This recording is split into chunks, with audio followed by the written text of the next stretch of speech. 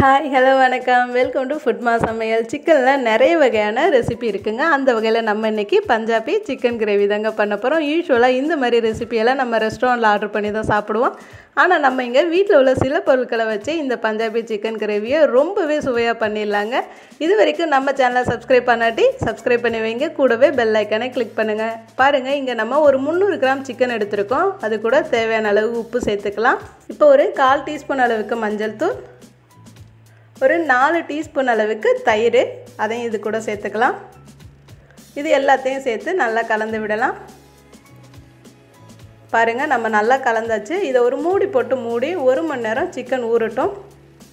ஒரு டீஸ்பூன் அளவுக்கு எண்ணெய் சேர்த்துக்கோங்க. அதில் ஒரு அரை டீஸ்பூன் அளவுக்கு ஜீரகம் ஒரே ஒரு பிரியாணி இலை ஒரு துண்டு பட்டை மூணு ஏலக்காய் மூணு கிராம் ஒரு துண்டு இஞ்சி நாலு பல் பூண்டு நறுக்கிய ஒரு பெரிய சைஸு வெங்காயம்.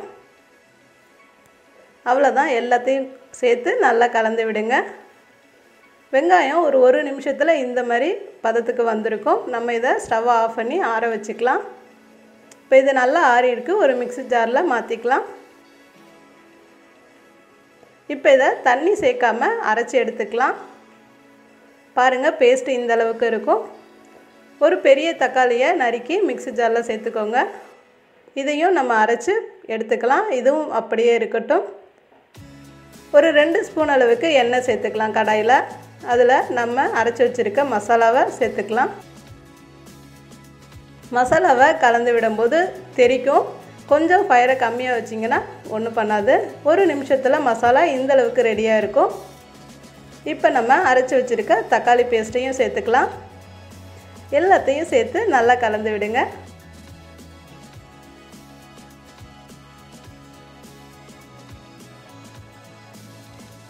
ஒரு நிமிஷத்துலேயே பச்சை ஸ்மெல்லாம் போயிருக்கும். இப்போ ஒரு ஸ்பூன் அளவுக்கு மிளகாய்த்தூள் ஒரு ஒன்றரை டீஸ்பூன் அளவுக்கு மல்லித்தூள்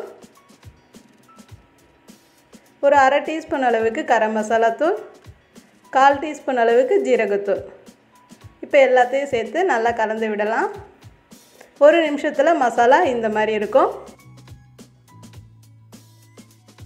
இப்போ நம்ம ஊற வச்சுருக்க சிக்கனையும் இது கூட சேர்த்துக்கலாம். இப்போ நல்லா கலந்து விடுங்க. தீ வந்து நல்லா ஹையிலேயே இருக்கட்டும். ஒரு நிமிஷம் நல்லா கலந்து விட்டிங்கன்னா மசாலா இந்த மாதிரி இருக்கும்.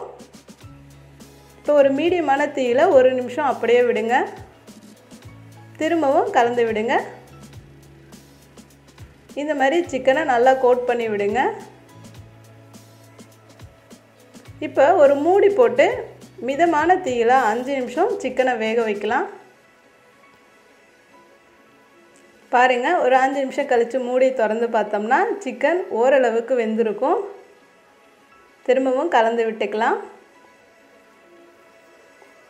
அவ்வளோதான் இப்போ நம்ம இங்கே கிட்டத்தட்ட ஒரு நூறு எம்எல் அளவுக்கு தண்ணி சேர்த்துக்கலாம். எல்லாத்தையும் சேர்த்து கலந்து விடுங்க. மசாலா தண்ணி கூட மிக்ஸ் ஆகட்டும். தேவையான அளவுக்கு உப்பு கலந்து விட்டு இதை ஒரு மூடி போட்டு பதினஞ்சு நிமிஷம் மிதமான தீயில் வேக வைங்க. அப்போ தான் சிக்கன் நல்லா சுவையாக இருக்கும்.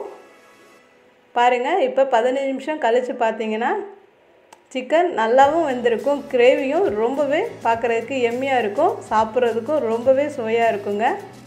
கலந்து விட்டுட்டு ஒரு கைப்பிடி அளவுக்கு கொத்தமல்லி இலையை எடுத்து இது மேலே தூவி விடலாம். அவ்வளோதான் கொத்தமல்லி இலையை தூவிடுங்க. நமக்கு சிக்கன் இப்போ ரெடி ஆகிடுச்சு இப்போ ஸ்டவ்வை ஆஃப் பண்ணி இறக்கிக்கலாம். பஞ்சாபி சிக்கன் கிரேவி ரெடி ஆகிருக்கும் அவ்வளோதாங்க நம்மளோட பஞ்சாபி சிக்கன் கிரேவி சுட சுட ரெடி ஆயிடுச்சு. நீங்கள் இதை எது கூட வேணாலும் வச்சு சாப்பிட்லாம். ரைஸு சப்பாத்தி ரோட்டி இந்த மாதிரி உங்களுக்கு பிடிச்ச ஐட்டத்தோடு வச்சு சாப்பிடுங்க. ரொம்பவே சுவையாக இருக்கும். உங்கள் வீட்லேயும் ட்ரை பண்ணி பாருங்கள் ரெசிபி பிடிச்சிருந்துச்சுன்னா வீடியோ லைக் பண்ணுங்கள் ஷேர் பண்ணுங்கள் கமெண்ட் பண்ணுங்கள் மறந்துடாமல் ஃபுட் சேனலை சப்ஸ்கிரைப் பண்ணி வைங்க.